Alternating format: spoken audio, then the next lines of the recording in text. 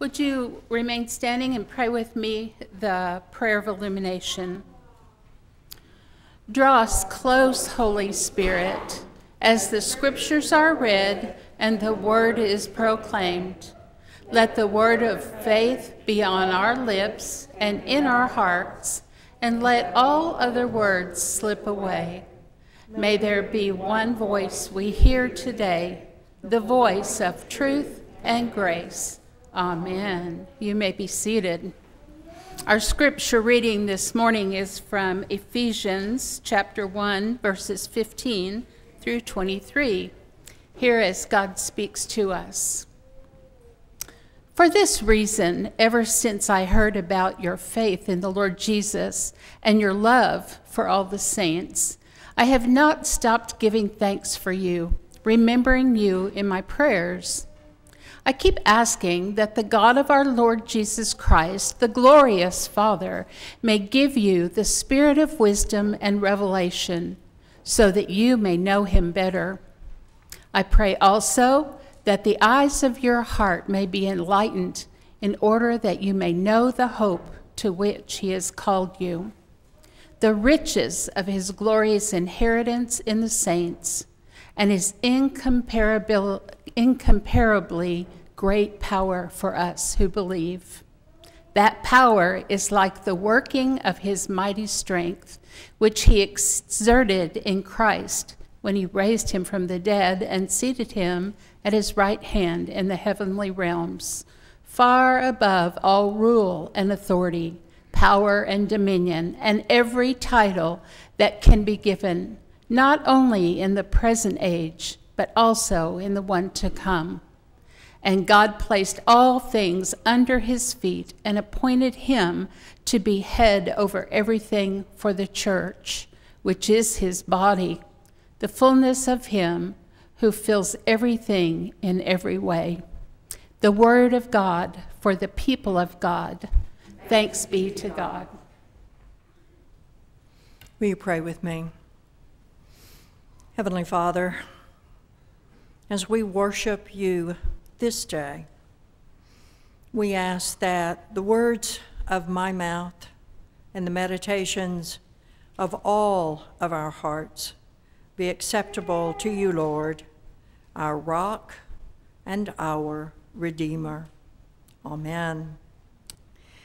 We've been talking about Jesus Christ for the last two Sundays, about how Jesus is fully human, fully divine, Son of God. I've asked both you and I to consider who do you say Jesus is? And we know that the answer has long reaching implications. This passage from Ephesians emphasizes Christ's exclusive supremacy. Jesus is not one Lord among many, but is far above all rule and authority and power and dimension and every name that is named, not only in this age, but in the age to come. And Christians throughout the centuries have proclaimed Christ's lordship as central to their faith.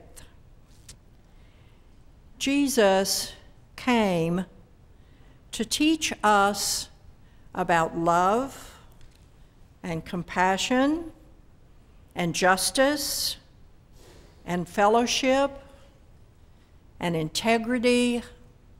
I could go on and on. He died a horrid death on a cross to save us from our sins, and he rose again to give us hope for eternal life. You know, I think the greatest expression of God's devotion to humanity is the raising of Christ from the dead. And as our scripture says, all things have been placed already under Christ's feet, and he sits already at the right hand of God. and we, who are followers of Christ, are connected to the one who stands above all worldly powers because the church, the church is the body of Christ. Christ is raised by God's power from the dead. Christ is exalted to the right hand of God. Christ is above all rule and authority and power. All human powers, all angelic and demonic powers, all systems of power or dominion, not only in this age, but in the age to come. All are subject to Christ as sovereign with God. The epitome of this power is that Christ is the head of the church. His body is the new humanity created through him. For Irenaeus, who was the bishop of Lyon in the second century, one of the early church fathers, Christ is the head or Lord because he is truly human. He is the second Adam whose life restored humanity to its original intention. Irenaeus wrote, He was incarnate and made man. And then he summed up in himself the long line of the human race, procuring for us a comprehensive salvation that we might recover in Jesus Christ what we lost in Adam. As Lord, the merciful lover of the human race, Christ gathers, restores, completes, fulfills, and perfects all things in his own humanity. What image do you have of Christ? I would wager that the image of Jesus as king would not be the first one that we think of. When we think of king, what image do you have? What does the word king conjure up for you? I think here's a few images from childhood, and I was blessed to have kids in the in the gathering, and they all agreed with me. So what I came up with obviously is good, and these kids can tell me if I'm right. There's the fairy tale kings who are benevolent and often dead. Of course, there's always a wicked queen. And then King of the Hill and King Me in checkers. And then for us adults, there is the King, Elvis Presley. Enough said? Yeah. King of the Road, a chess king, and then, last but not least, King George of England, who acted so awfully that the colonists rebelled. And I believe that's the reason we, nearly 300 years later, we have so much trouble with the concept of king. So, what about you? What do you think of when you think of the word king or kingdom? Do you have trouble with the image of Jesus as king? The simple fact is, a lot of folks have difficulty with the concept Jesus as a king and difficulty with that whole idea of the kingdom of God. It's not something we can easily relate to or appreciate, no matter how often we read the words that Jesus uttered to Pilate My kingdom is not of this world.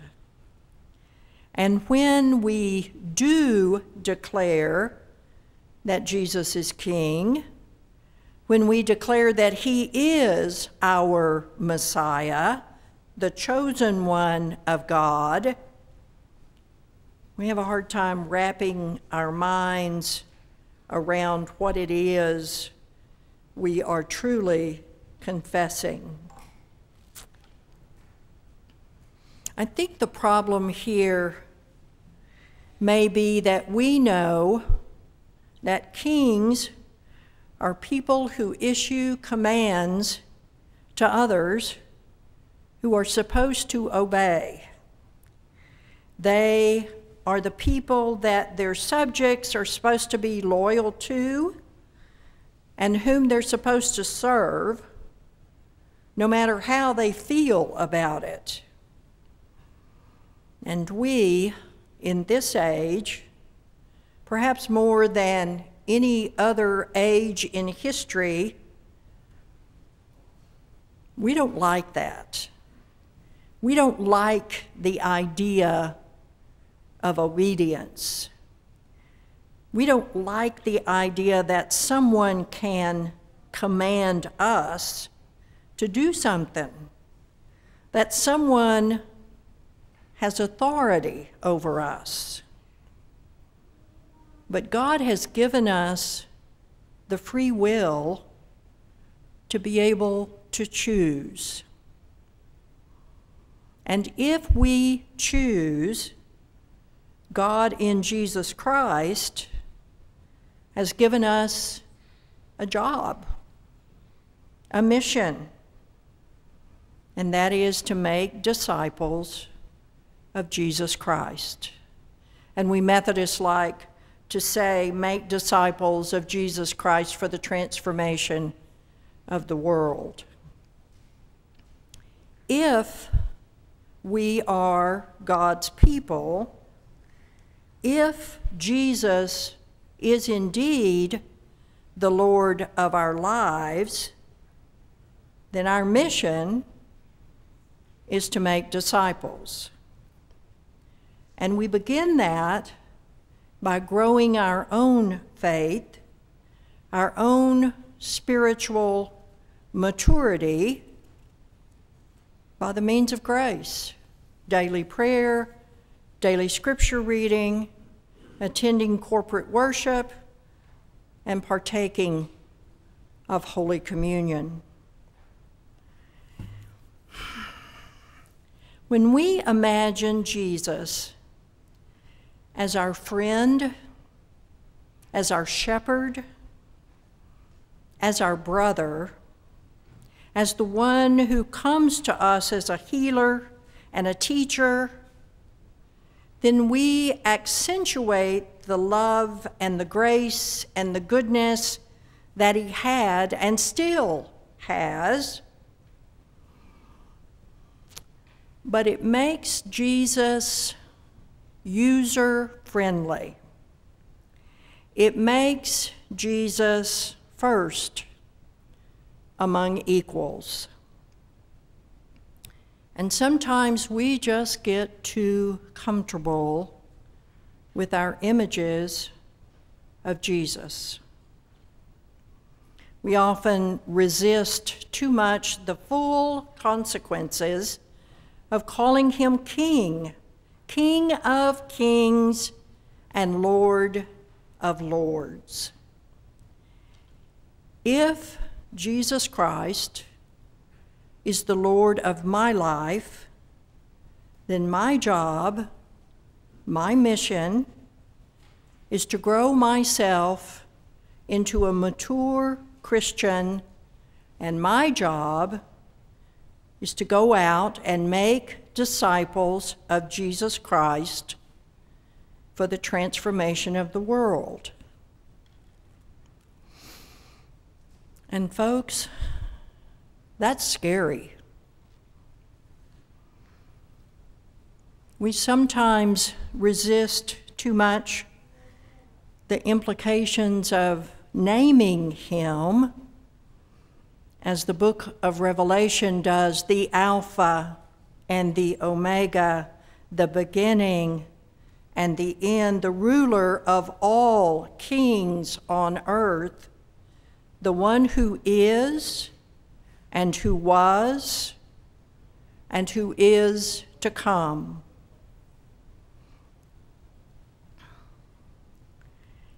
Does our image of Jesus as King extend to making him Lord over everything in our lives? We've been talking about making Jesus first in our lives. And that's our job. That's our mission. Because you see, if Jesus wasn't King of Kings and Lord of Lords, he couldn't also be our Savior. Because Jesus, fully human and fully divine, died for our sins because he was re- resurrected, because he ascended to sit at the right hand of God, he is our Savior, our hope for life eternal. He is our King. He is our Lord. And then Jesus says over and over again in the Gospels the kingdom of God is not far from us. Indeed, it is at hand. It is over us and in us. Are we ready? Have we made Jesus the Lord, the King of our lives? Are you ready to work in the mission field? Are you ready to go out and make disciples of Jesus Christ for the transformation of the world? And we come back to the question I've been asking Who do you say Jesus is? Blessed be the name of Jesus, who is our friend, our comforter, our shepherd, our Lord, and our King, now and forevermore. Amen and amen.